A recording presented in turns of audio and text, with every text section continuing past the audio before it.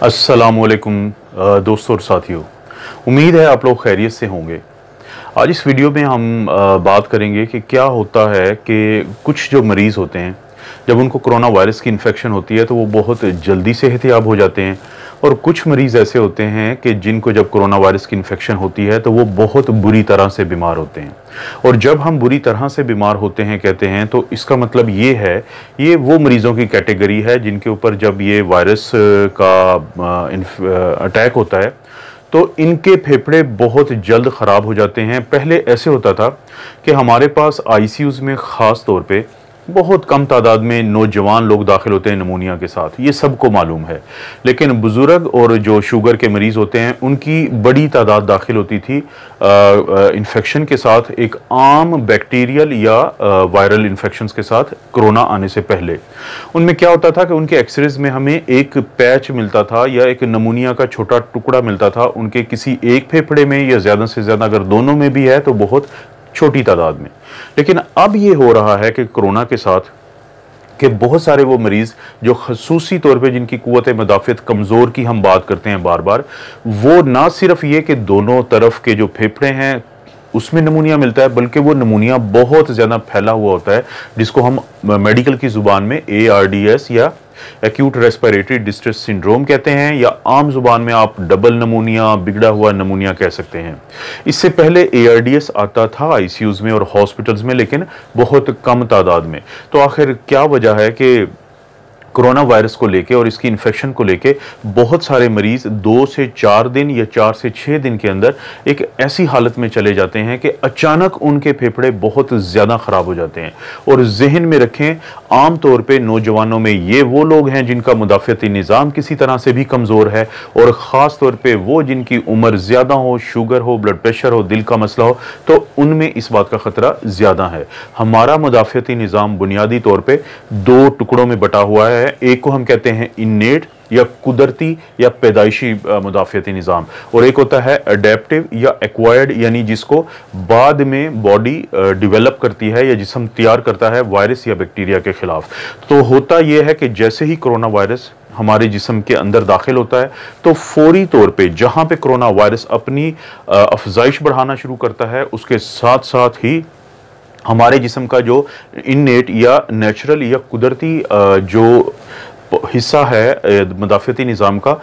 وہ اپنے سیلز کو اس کے اوپر حملہ کرواتا ہے۔ ان سیلز کے اندر اگرچہ موجود ہوتے ہیں macrophage dendritic cell natural killer cell اور اس کے علاوہ بھی بہت سارے، لیکن ان میں سے اگر ہم مثال لیں میکروفیج کی، تو یہ کیا کرے گا کہ یہ فوری طور پہ وائرس کو کھائے گا۔ اس کو چھوٹے چھوٹے ٹکڑوں میں تقسیم کرے گا اور اس کے کسی ایک ٹکڑے کو پیش کرے گا اپنے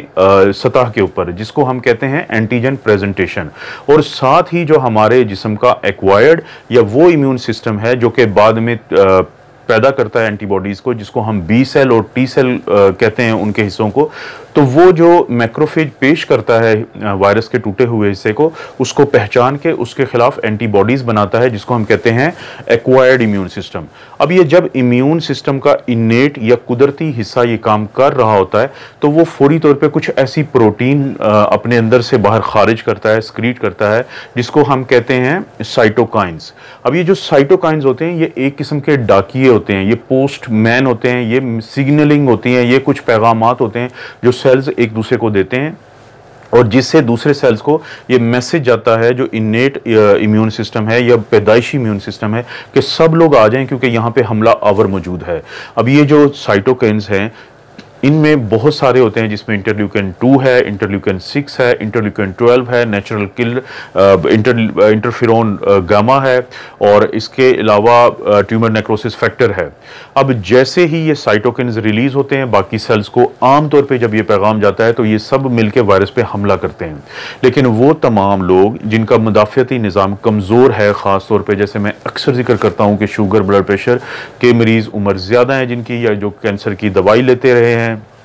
تو ان سب کا جو انیٹ امیون سسٹم ہے یا امیون سسٹم ہے وہ ڈیفیکٹو ہوتا ہے۔ جیسے ہی یہ سائٹوکائنز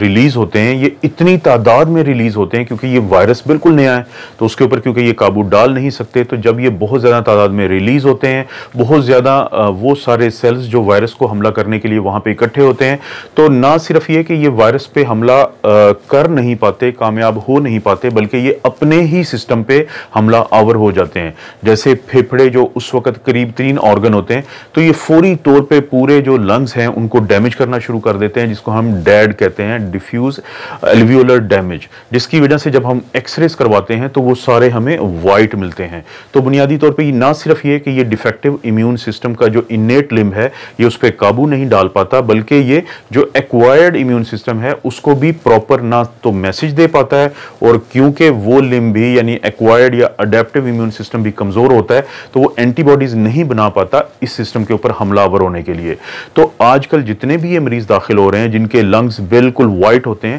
تو اس کے لیے ایک دوائی ہم استعمال کرتے ہیں، جس کو ہم کہتے ہیں انٹرلیوکن سکس انہیبیٹر کیونکہ آپ دوبارہ اگر غور کریں، تو جو سائٹوکنز ریلیز ہوئی تھی ان میں سے ایک کا نام ہے انٹرلیوکن سکس تو اس طوفان یعنی سائٹوکن سٹوم پہ قابو ڈالنے کے لیے ہم اس کا ایک انہیبیٹر انٹرلیوکن سکس کا انہیبیٹر یوز کرتے ہیں، جس کا نام ہے ٹوسیلی زومیب یہ لاہور میں بھی اویلیبل ہے، کمپنی کا نام روش ہے. اور برینڈ نیم ہے ایکٹیمرا کے نام سے۔ یہ لاہور کے سب سے پرانے پوش علاقے کے ایک بہت بڑے پرائیویٹ ہاسپٹل میں آپ کو مل سکتا ہے۔ اس کو ہم عام طور پہ، عام طور پہ ہم six hundred to eight hundred milligram کی انفین لگاتے ہیں، کیونکہ یہ انجیکشن اویلیبل ہے ایٹی ملی گرام میں ٹو ہنڈریڈ ملی گرام میں اور فور ہنڈریڈ ملی گرام میں۔ اور سکس ہنڈریڈ ملی گرام یا ایٹ ہنڈریڈ ملی گرام کی عام طور پہ قیمت جا کے پڑتی ہے ایٹی تھاؤزنڈ سے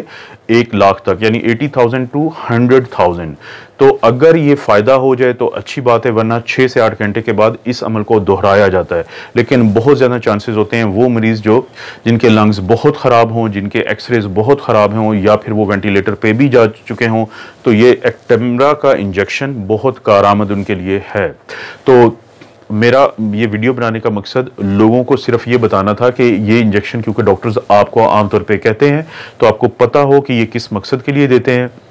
اس کی قیمت کیا ہے اور اس کو ہم عام طور پہ ڈرپ میں ڈال کے کچھ گھنٹوں میں لگا دیتے ہیں اور ساتھ ہی میری ریکویسٹ ہے گورنمنٹ سے کہ وہ جو جیسے عمران خان جو ہیں انہوں نے احساس پروگرام ایک لانچ کیا ہوا ہے اور ڈاکٹر ثانیہ نشتر اس کی چیئرمین ہے تو ان لوگوں سے ریکویسٹ ہے کہ وہ سبسیڈائز ریٹ پہ پاکستان میں یہ انجیکشنز کو مہیا کروائیں کیونکہ اب یہ اس وقت وہ مریض جو بالکل خراب ہو چکے ہوتے ہیں ان کے لیے ایک آخری امید ہے اللہ کے بعد۔ تو امید ہے آپ کو اس سے کچھ آئیڈیا ہوا ہوگا۔ آپ اپنا اور اپنی فیملی کا خیال رکھیں۔ اللہ تعالیٰ آپ کو اور آپ کی فیملی کو ہر قسم کی برائی، بیماری اور آزمائش سے محفوظ رکھے۔